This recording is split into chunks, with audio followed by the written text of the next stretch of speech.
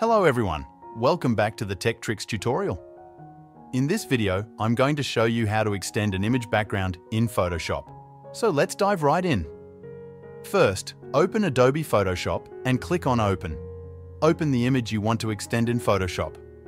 Once your image is opened, press Ctrl-C to select the crop tool.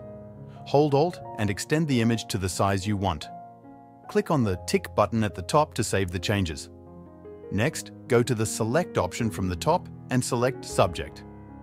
Wait for a moment until Photoshop selects the subject. After it's done, again go to Select and choose Save Selection.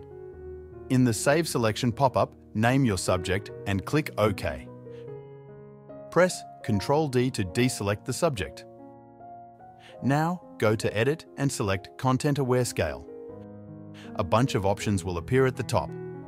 In the Protect section, select Subject. Now, expand and stretch the background by holding Alt plus Shift to fit the entire canvas. And there you have it. By this method, you can easily extend any image in Photoshop. Thank you for watching, and I'll see you in the next video.